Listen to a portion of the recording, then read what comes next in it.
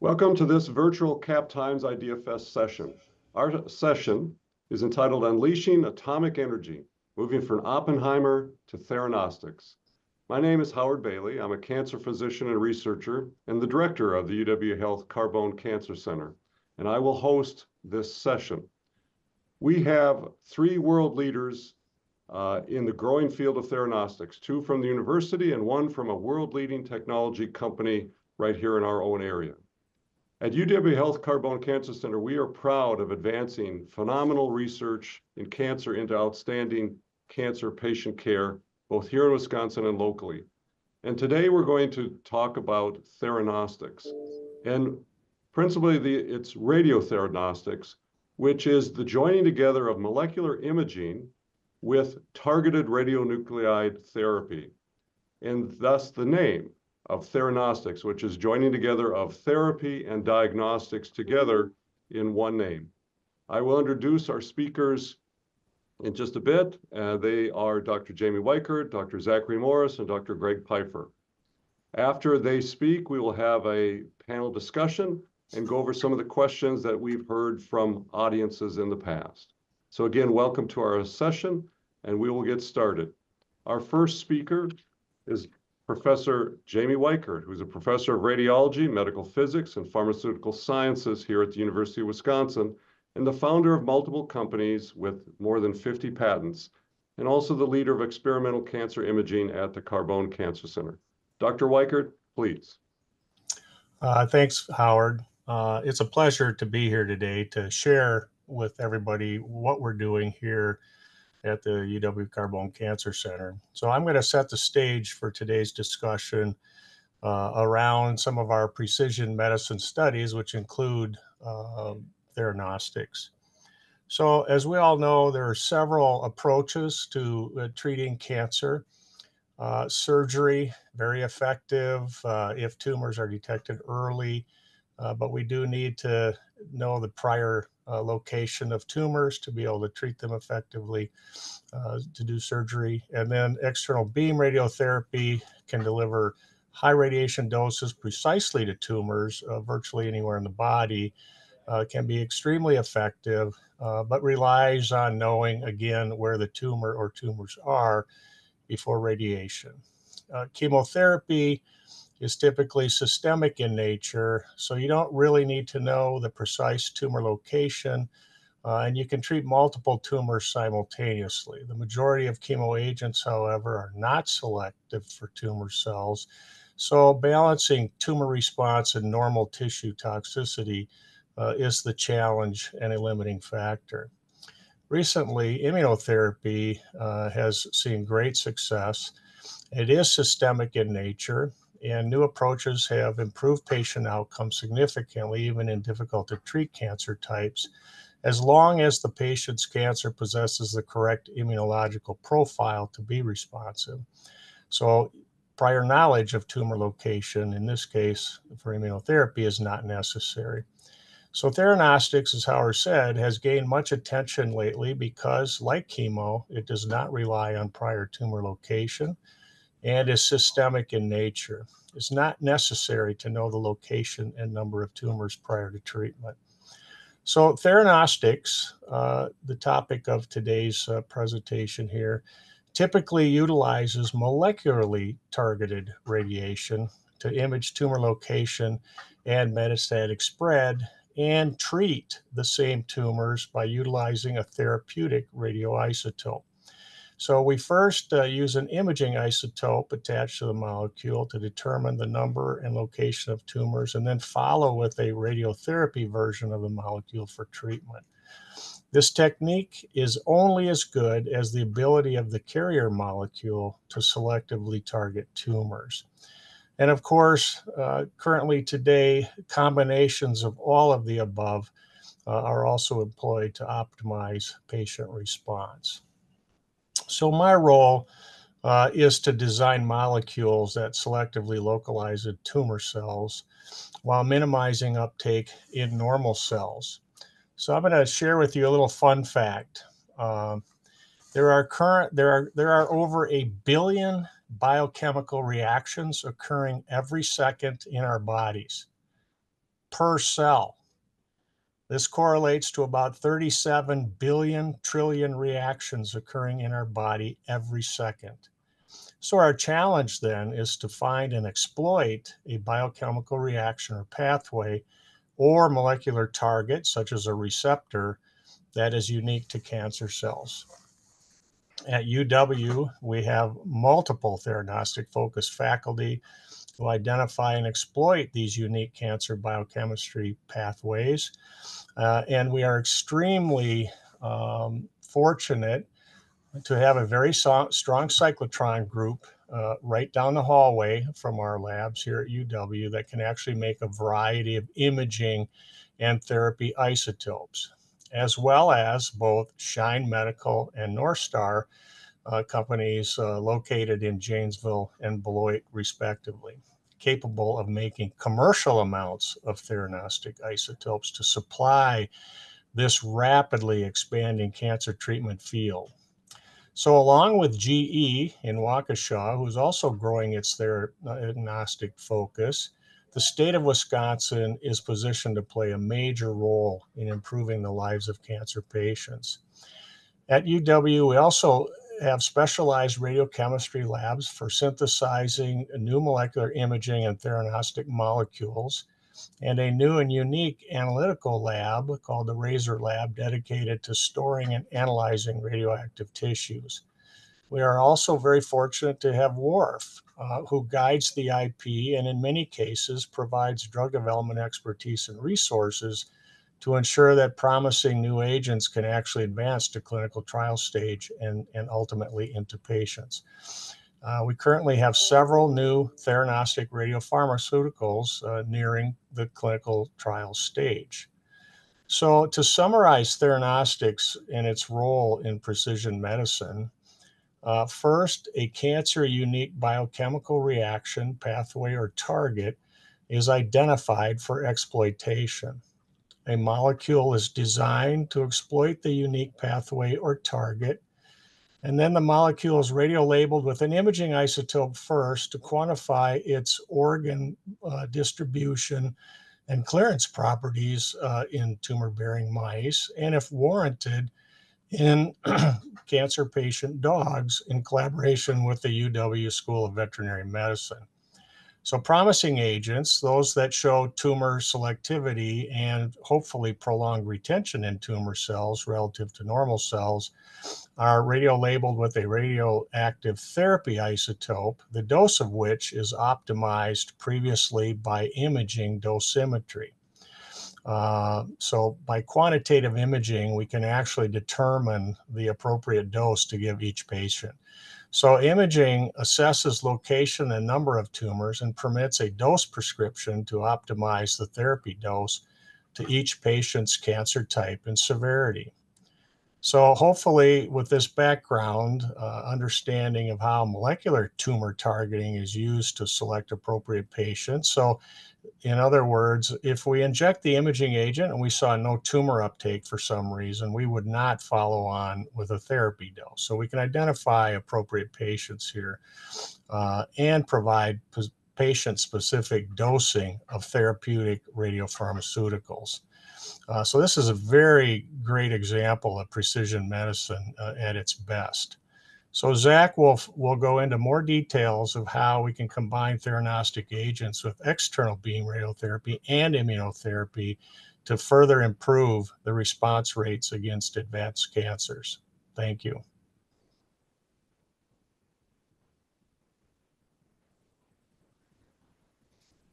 Thank you, Dr. Weichert.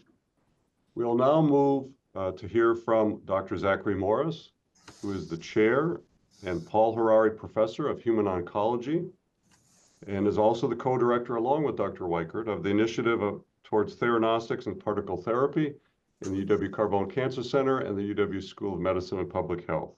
Dr. Morris, please.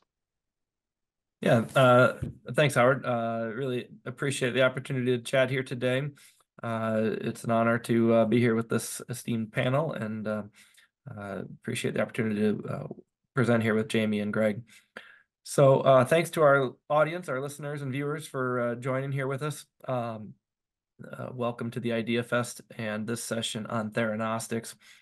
Uh, as Jamey mentioned, uh, theranostics is a really exciting, emerging and growing area in uh, cancer imaging and treatment. And there's a number of opportunities that we see here, uh, both from a, a research as well as a clinical treatment standpoint for cancer patients. As Jamey alluded to, um, radiation therapy is a standard treatment for many patients with cancer. Um, and the images shown here are what are called a linear accelerator. This is the uh, workhorse uh, device that we use for the treatment of most patients who get radiation for their cancer. And uh, the majority of patients who have cancer actually do get radiation at some point in time during their treatment. About about 60% of cancer patients will will receive radiation as part of their cancer care. So it has an enormous role in uh, the care of patients, and it's uh, well established as part of not only potentially curative treatments for cancer, where we combine it with surgery and, and in some cases chemotherapy, or in some cases we deliver radiation alone, but it's also has an important role in alleviating symptoms and controlling pain for patients uh, whose cancers we can't cure, but where we can uh, improve their quality of life.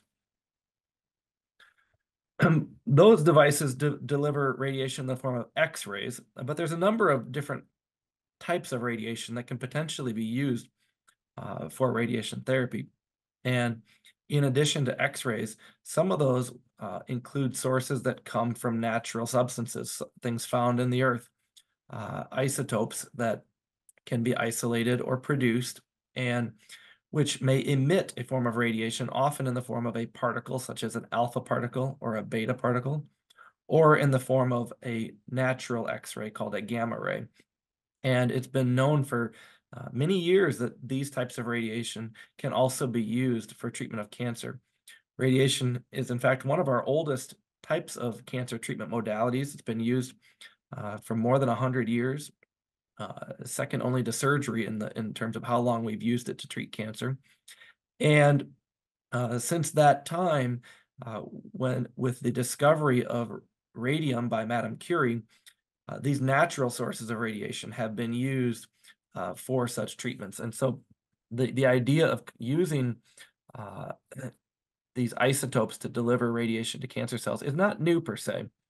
But what has changed recently is our ability to deliver those isotopes to the tumor precisely. And Jamey touched on this, but just to give a little more uh, illustration of the idea, what we're talking about here is using a small molecule, or in some cases, an antibody, which is a protein that can specifically target another protein. Uh, in the drawing here, that's shown in the black, delivering a radioisotope to a tumor by targeting a specific receptor or protein on the surface of a cancer cell. And the more specific that targeting is, the more specific that drug will be.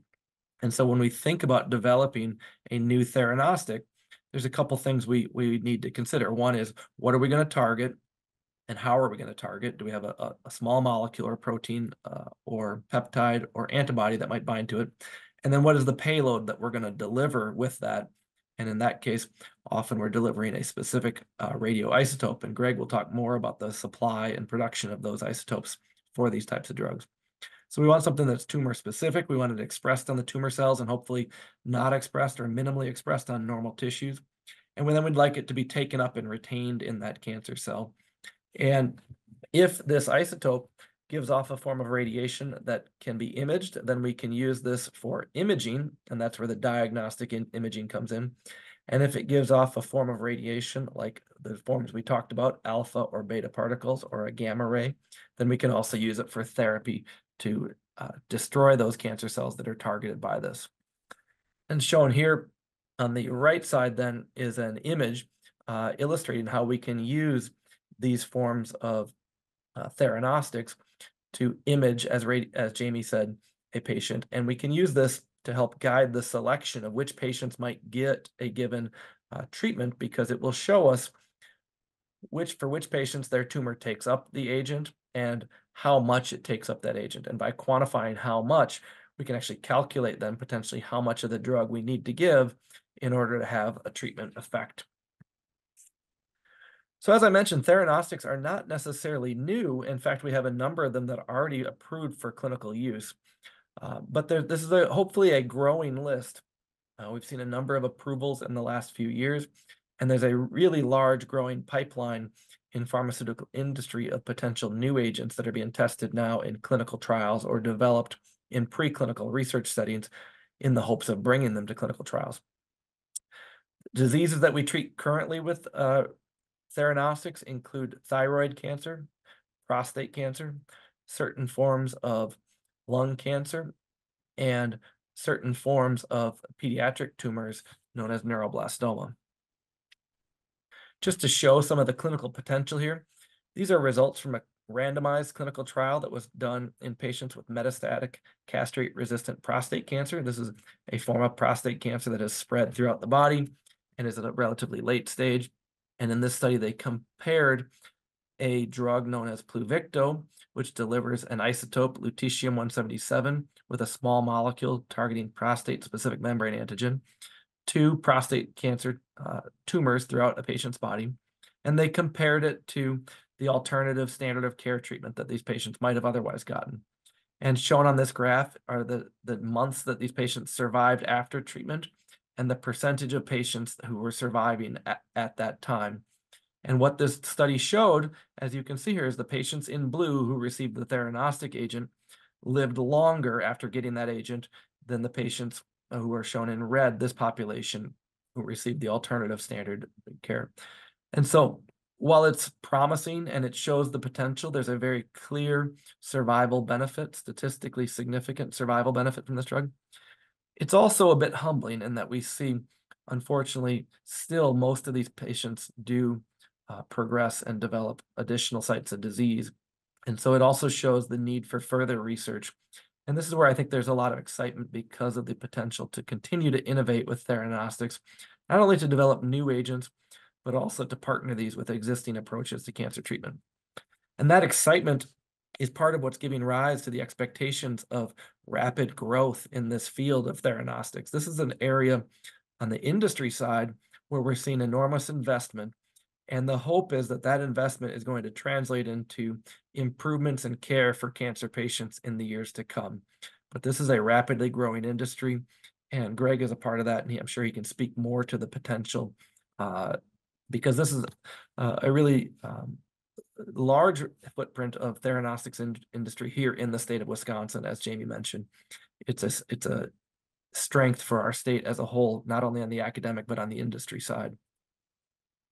One of the areas that excites me most about this is the opportunity to take theranostics and combine them with our other forms of cancer therapy. And one of the studies we did working with Jamey's group in a preclinical setting was to combine a low dose of a theranostic agent with an immunotherapy. Immunotherapies are treatments that try to get a patient's own immune system to attack their cancer. And one of the things we showed here is if we gave uh, a control treatment uh, in this experimental system, it was not very effective. If we gave immunotherapy alone, uh, it was not very effective. If we gave a theranostics uh, agents alone, which is in the red curve here, it was somewhat effective, but didn't cure these uh, uh, the, these um, mice. But if we combined these, we were actually able to cure about 60%. And so this is where I'm hoping that we will see the, some of the biggest impact on our cancer patients is when we combine these theranostics with other approaches to cancer treatment, where we move from improving the duration of survival to hopefully offering curative potential. So in closing, I'll just speak to some of the really outstanding opportunities and strengths we have here at the University of Wisconsin and in the state of Wisconsin. The University of Wisconsin has really well recognized expertise and state-of-the-art internationally renowned resources related to theranostics for new agent discovery, for isotope production and, and the radiochemistry to take these isotopes and put them on drugs, for preclinical testing to test out new drugs and evaluate their efficacy using their uh, imaging capabilities to determine how to dose them. We have top ranked programs in here for medical physics and biochemistry, which are kind of engines behind this, as well as radiation oncology and uh, radiology nuclear medicine for testing these approaches.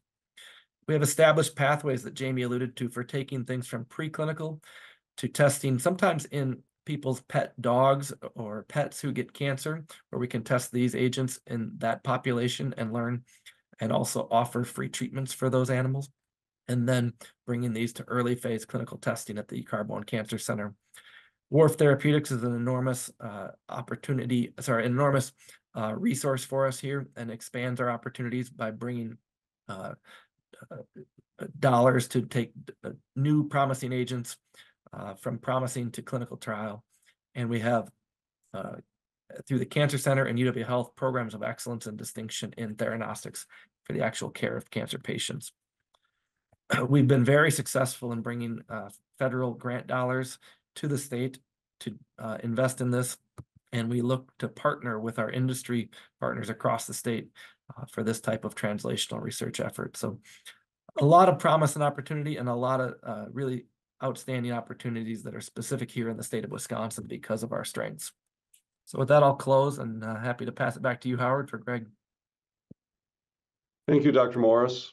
Uh, we will now uh, move to our next speaker, Dr. Greg Piefer, who is a nuclear engineer in training, but more, most importantly is the founder and CEO of Shine Technologies, which he has developed into literally a world leader in the production of radioligands for medical purposes and diagnostic purposes.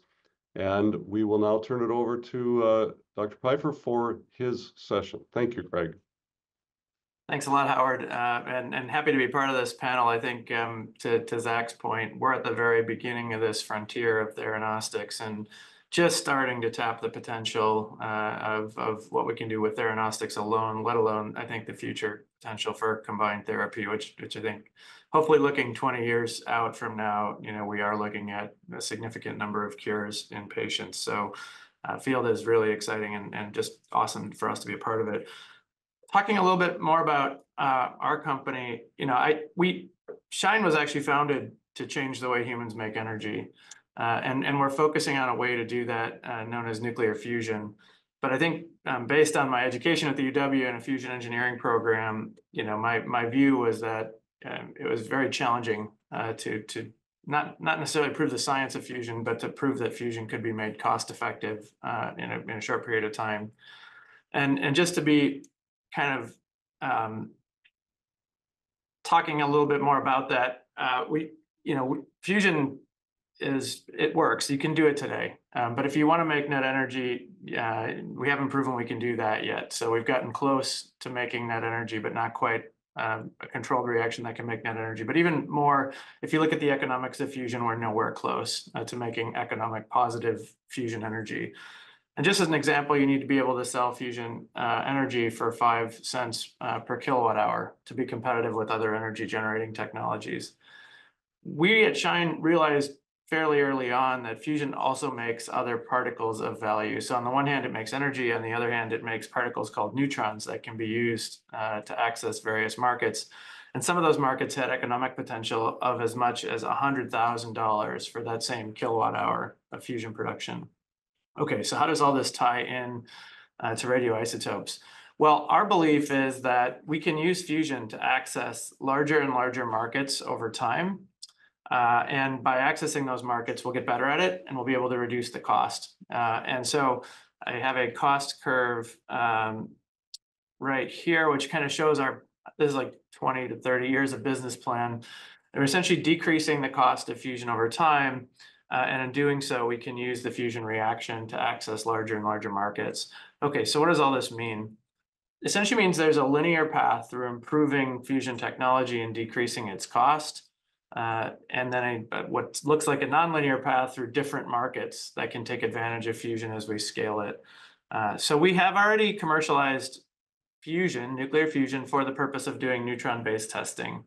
Uh, and we've we've learned to produce fusion neutrons cheaply enough to replace nuclear research reactors as the primary means of doing things like neutron radiography and rad hardness, radiation hardness testing.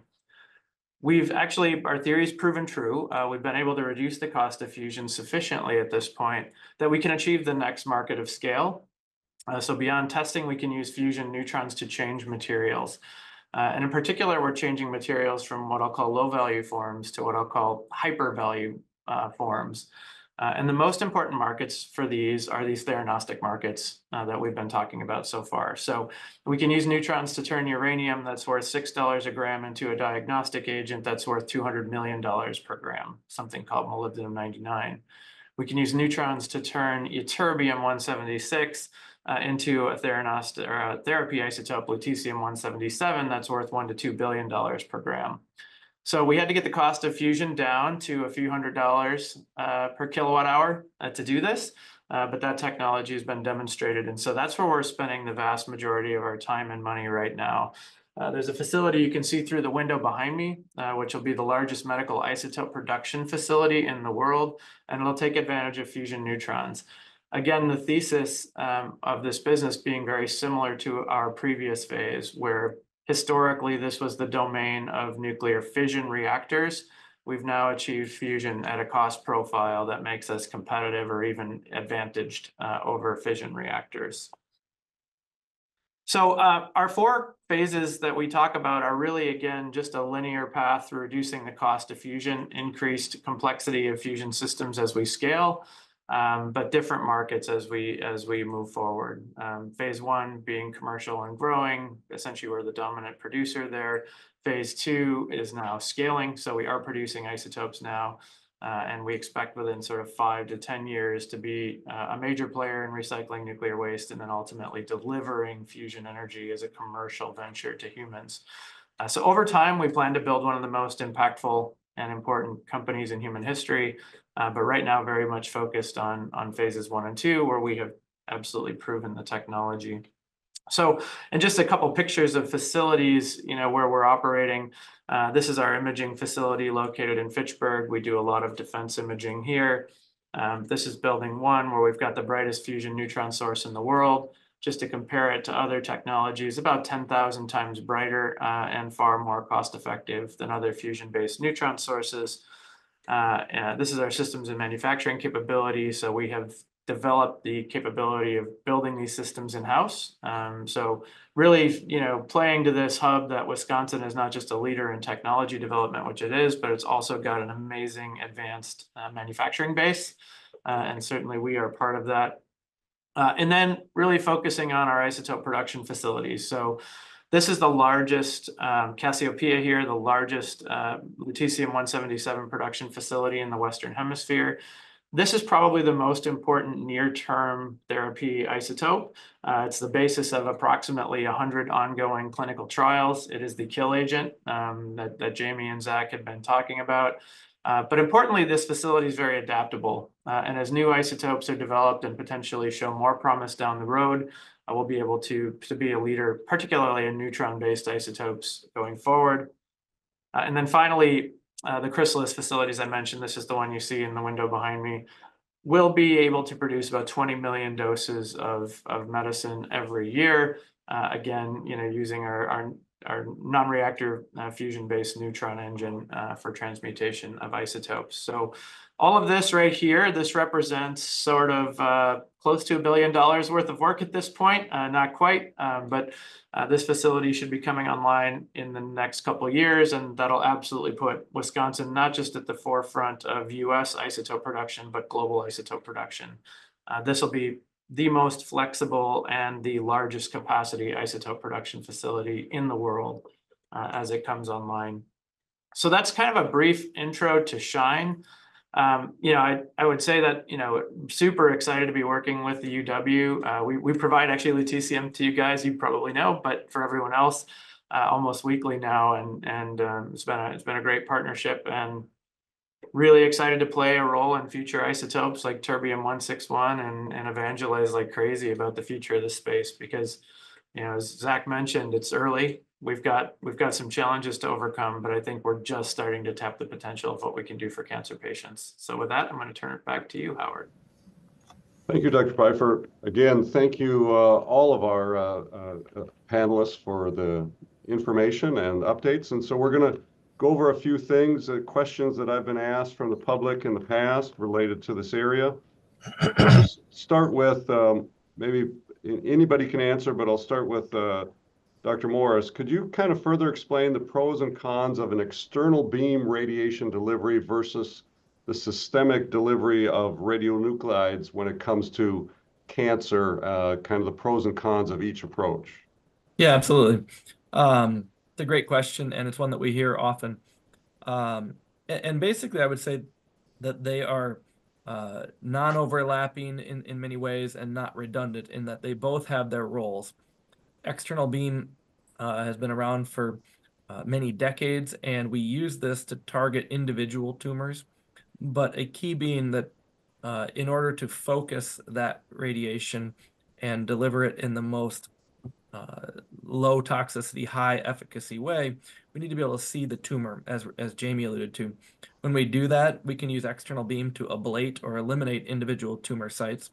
For patients with localized disease, this is really a standard of care type of approach. We use external beam either to get rid of a tumor uh, that we see, or in combination with surgery to eliminate tumor cells that might be left behind in an area after a surgery. The other major role for external beam is when a patient has a particular symptom caused by one site. If there's a site that's causing pain, then we can radiate that site. And about 80% of the time, we'll have an improvement in the control of that pain. Often uh, can be even complete relief of that pain. Conversely, the theranostics, they're given intravenously. So this is an agent that initially is not targeted or directly at, directed at a tumor, but it uses that biological or molecular selectivity to home in on a tumor. And it, it, one of the advantages is we don't need to see that tumor site. And so it, it, because these are injected into the bloodstream, they'll go throughout the body and they can be taken up in tumor sites, whether they're large enough for us to see them or whether they're very small microscopic sites that might show up in the future that we don't currently see. Uh, and so in that way, it's similar to like how we might use a chemotherapy uh, to target all sites of cancer throughout the body.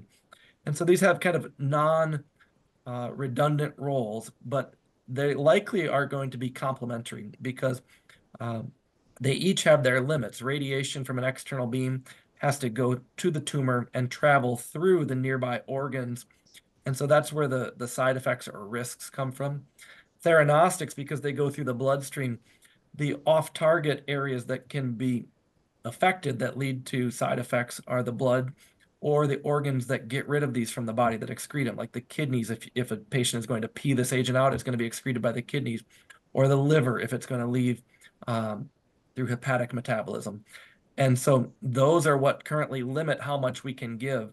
And if we recognize that those are not overlapping, then it makes sense that we likely can give both of these treatments in combination and stay below a toxicity limit but give additional treatment to the patient's cancer.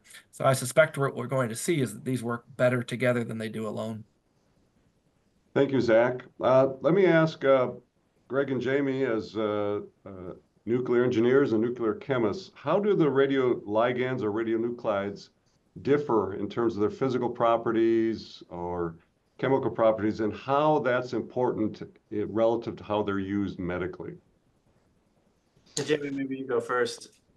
okay, thanks. Uh, so for imaging, you know, we need to, as I mentioned, you know, we need to design a, a, a carrier molecule that can target the tumor. For imaging, you know, the isotope uh, is different uh, clearly than a therapy isotope. Uh, many times uh, longer, much longer range and lower energy for those isotopes. Um, you know, for imaging, we don't really need uh, prolonged tumor retention. You just need the, uh, you know, the molecule to deliver the isotope as quickly as possible to the tumor cells, uh, which helps with the, you know, the flow uh, in the clinic, get patients in and out quickly. Um, and then in therapy, we do want the uh, tumor cells to retain the agent um, and of course, we put a therapy isotope on there, which typically will have much shorter range than an imaging because imaging you need to detect outside the body. Uh, we really don't need to detect uh, the therapy agent uh, outside the body, but you know, in the case of lutetium 177, that's unique in the fact that it does both imaging and therapy all by itself. So, uh, one injection will do both, uh, serve both purposes. So, the differences in the isotopes are, you know, there's isotopes uh, dedicated towards imaging and isotopes also dedicated for therapy. and uh, you know and that's the that's the difference between them. But you know we have to come up with uh, unique ways of you know uh, delivering the molecules or delivering the therapy or imaging dose to tumor cells. So that's the big challenge but i think people are getting uh, pretty good at it now so Yeah, I'll, I'll focus a little bit more on the isotope and less on the drug. Um, and I'll st- I'm still going to caveat this by saying biology is insanely complex. Uh, and so there is no truth here, only probability uh, and theory. You know, so there's a number of different, I think, really exciting areas, particularly in the therapy isotope space. Uh, there's really, you know, a couple different forms that are being considered. There's beta emitters, as Zach mentioned those, alpha emitters, and even something called Auger electron emitters all of which have a bit different characteristics. So betas typically travel on the order of a millimeter in human tissue. Uh, and so they're actually reasonably better potentially, or at least theoretically, at irradiating solid tumors. So tumors that are big, uh, and you want to get a lot of coverage over a bigger volume. Betas tend to be better at that. And we see really good, at least radiographic disease um, clearing uh, with sort of betas. So when you have to kill big things, betas seem to work really well but they're probably really kind of bad at killing small tumors. So what we either call micrometastases or cellular-based cancers. That beta deposits its energy over a millimeter, but a small cell is a lot smaller than that. So you don't get a lot of energy deposited in that cell. And that's led to people to, to, to look a lot at alpha therapy, which is as it delivers a very high kill dose uh, to very small tumors, some micrometastases, but you might not get really good bulk tumor coverage. So if you have smaller tumors, uh, it may be more effective. It may be more effective for killing micrometastases. Uh, but small doses of alpha can have really big side effects too. And I think the clinical trials ongoing now are going to talk a little bit about, um, they're going to reveal, frankly, um, whether alphas have a, a toxicity issue. We're really excited about an isotope called terbium 161, uh, largely because it's got betas, which are bulk tumor coverage. It also emits Auger electrons, which are significantly higher energy deposition over shorter range. So it might be a magic bullet uh, that can do both. Um, and, and so we're investing in R&D there. We think that could be the way of the future. But, uh, you know, again, I'll, I'll caveat by saying biology is complicated and we need clinical trials to show statistically how it's going to happen. Thank you, Greg. Um, maybe follow up, Greg, with you on this. We're mainly talking about cancer and we'll continue talking about it because that's what the research we all do. But what are your thoughts on the future of uh, radionuclides uh, in diseases outside of cancer? Yeah, so radionuclides have already a wide range of applications in industry. Um, and they're used for sterilization, they're used for quality control, uh, they're used for batteries. Uh, and I think as we look at the future of the radioisotope space, it's going to be cancer for the next five to 10 years. Um, but I think, you know, in terms of the bulk economic potential, but I think as you start to look outside of that, you can get really exciting potential uses of, of radioisotopes outside of cancer and growing. You know, as we do more stuff in remote locations, particularly areas like space. Um, and then ultimately, I think, you know, as we mentioned, our phase three focuses on nuclear energy. If we want, if we want carbon-free energy in this world, we need to have nuclear fission be a part of that solution. It's what we know now. It's the tool we know best. And one of the biggest resources for fission, and frankly, one of the most responsible things we need to do as a species is recycle our nuclear waste. So if you look at recycling nuclear waste, for example, and consider that to be a use of radionuclides, particularly plutonium, that's a space that could be 10 times the economic potential very easily of, of what we're talking about for radioisotopes for medicine. Uh, so, you know, I think as you're thinking 10 years out and more, as we try to create a carbon-free energy grid, um, radiochemistry and, and radionuclides will play a massive economic uh, role there. Thank you, Greg. Uh, Jamey and Zach, kind of, could you ex- go into a little bit more on kind of the relative pros and cons of molecular imaging, which is uh, at the heart of theranostics, relative to our standard techniques now, whether that's CT scanning, MRI, again, kind of the, the pros and cons of, uh, of each. i'll let you go first zach Sure. Um, so with with a lot of the standard imaging, what we get is a uh, image of the anatomy in a patient, and that will show us the size and shape and, and relative locations of tumors or n- normal tissues and organs. Uh, that's the case with CT scans and MRIs. With molecular imaging, what you uh, get is in addition to that, depending on where you target your molecular imaging agent, you get some functional output. Uh, you can look at, for example, the metabolism going on, how, how much glucose is being metabolized by those tissues. And so you get not only the anatomy, but you get how they're functioning, which are uh, high met- met- metabolizing, like a tumor often is, and which are you know low uh, or or dormant in their metabolism. But you can expand that to then, as we expand those, what I called vectors, uh, agents that are targeting specific molecules. You can also look use this to label and see where is a given protein expressed across the body, or where is a given receptor uh, binding to its ligands. And for a tumor, this gives you kind of functional information about that tumor, which could be used to pick a specific agent for a patient. So, for example, if you had a drug that had a known target that it needed to hit in order to work, you could make an imaging agent of that target. So, you wouldn't have to give the treatment first. You could give this imaging agent and say, okay, for this patient, these tumors have that target expressed, and so they will likely be receptive to that drug and respond. But for example, that patient might have one other tumor that doesn't show that because within a given patient, not all the tumors are exact clones of one another. And that would allow you to then say, well, we could give this agent, but for that one tumor that doesn't take this up, we need to do something else. And we could give, for example, external beam or some other form of treatment that would target that. So what I think ultimately these do is they give us more functional information and they will ultimately allow us to more personalize how we uh, address cancer for patients. I, I would just add, Howard, that you know a lot of times in cancer imaging we use hybrid scanning, uh, where we combine an anatomic uh, modality like CT or MRI uh, with a functional or, or isotope based uh, modality uh, like positron emission tomography or uh, SPECT imaging.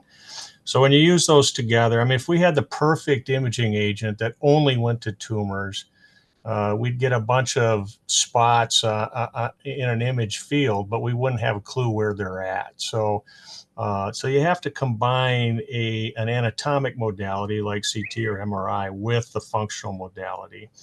And I would also just uh, add to what Zach said that, you know, we have the ability now to do four dimensional mapping uh, very quantitatively uh, to assess the, you know, the distribution uh, of the theranostic agent or the therapy agent uh, inside the human body. And as Zach has said before, you know, that this, you know, every tumor is different. Every patient's tumors are different. So, you know, you really need to do getting back to precision medicine here. This has to be individualized for each patient. So, imaging by itself can do detection initially, and then we can do the theranostic therapy and then we can actually come back and do imaging after that and do response assessment. So there's sort of three three important uh, you know roads there that imaging and theranostics play here in in cancer management. So uh, that's all I would add to that. Thank you. I'm going to go to each of you, and uh, if you could either describe or present what you think are uh, interesting or really valuable future directions in kind of radiation or energy when it comes to uh, medicinal or therapeutic approaches. And uh, maybe start uh, with you, Jamey, and uh, then move forward. Okay, so a couple of things come to mind right away, Howard, and that is, you know, in in the field of theranostics with radioactive uh, agents, um, Greg touched on this a bit, but you know they each have their own uh, strength with regard to tumor size. You know, betas are better for larger tumors, alphas better for smaller uh, metastases and, and, little tumorlets. Uh, but I think people are starting to look at combining alphas and betas together at the same time, or OJs, uh, and and with that, you get the best of both worlds. You know, you can treat both large and small at the same time. And what what really excites me now, Howard, and you're well aware of this, is another non-radioactive form uh, of theranostics, which is now just coming to the surface uh, in the world climate here, and that is uh, neutron capture therapy. And of course, Greg knows a lot about neutrons. Uh, but we, as as agent designers here, are super excited about this because you know, as these clinical neutron systems, uh, similar to clinical proton systems, are, are starting to appear. Right now, there are no such uh, clinical neutron systems in the United States. Uh, and, and as you know, Howard, we're hoping to become the first site uh, in, in North America on that. Uh, but the fact that you can literally turn on the radiation when, when a neutron hits a boron atom or a gallium atom. And so there's there's no radioactivity until that low energy neutron uh, hits a boron, which presumably would be localized in a tumor cell. Uh, and when it gets hit by one of these neutrons, so think of it shining a flashlight through your head, you know, when you have a brain tumor, it pretty much goes goes through unless it hits a boron or a gallium atom. When it hits a boron, it generates an alpha particle at the site of collision. Uh, and if it hits a gallium uh, atom, it creates an, an electron at the site uh, of collision. So this is a you talk about precision and no off-target uh, damage here. This is the ideal way to approach it, and the and the radio radiation is turned on and off you know, uh, by the location of the molecule. So we are getting really good at targeting tumors now, and I think this is a super exciting uh, future uh, cancer treatment. Uh, and I know Zach's really excited about it, and I know uh, Greg knows a lot about this. So I'd be I'd be curious about their opinions on that. Why don't we go to Greg next and we'll close with Zach from kind of the clinical side. But Greg, your kind of sense of what are things even further exciting you about the use of these energy sources in uh, therapeutics?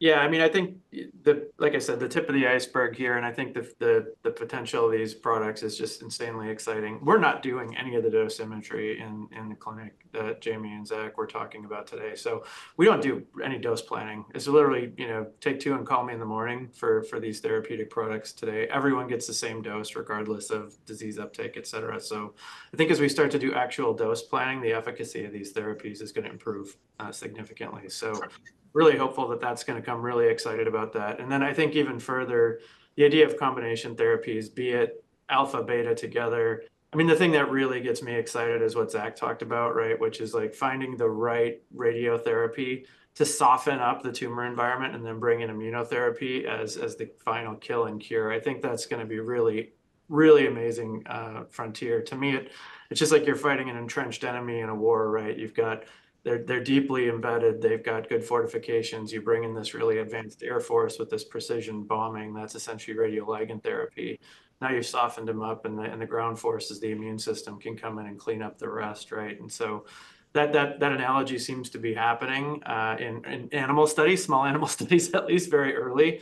And if that extends to humans, I think we're going to go from an era of you know, just trying to fight disease progression to actually curing patients and maybe, maybe even vaccinations, you know, which is one of the things Zach told me they were seeing in small animals where I was just like, wow, a cancer vaccine, that's incredible. So, you know, I think that's that's really cool. Um, to comment on Jamey's part, um, you know, on boron neutron capture, we're we're neutron people. That's what we do. We're radiochemists. That's what we do.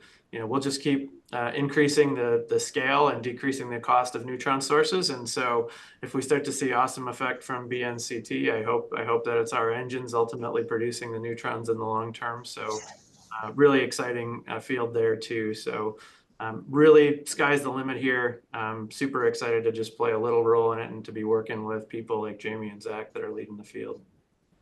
Thank you, Greg. Zach, uh, if you would go ahead and kind of close up for our session, your thoughts kind of as a cancer physician and researcher where all this is leading.